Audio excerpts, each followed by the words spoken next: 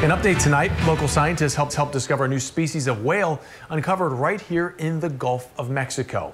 ABC Action News reporter Wendy Lane is getting a closer look at the new find and learning why scientists say it is bittersweet. It's hard to believe that something so enormous is in the water around Florida and we don't even know it. Just how big? Well, here's the size of me compared to it. It has all of us scratching our head. It's it's an amazing, amazing discovery. An amazing discovery that started in 2019 when this whale carcass washed up on Sandy Key in the Everglades.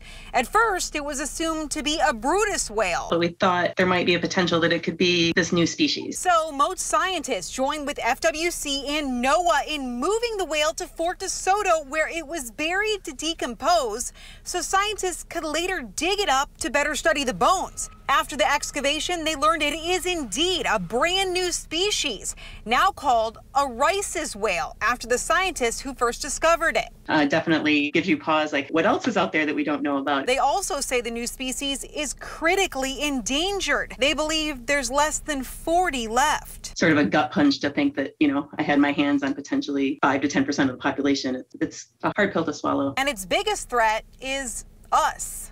Scientists say they believe the whale died from a piece of plastic no bigger than this lid that was lodged in the whale's stomach, inevitably causing its death. Scientists say it's a reminder of why it's so critical to keep our oceans clean. It's also hard when you know that there might not be, be very many of them left. Wendy Lane, ABC Action News.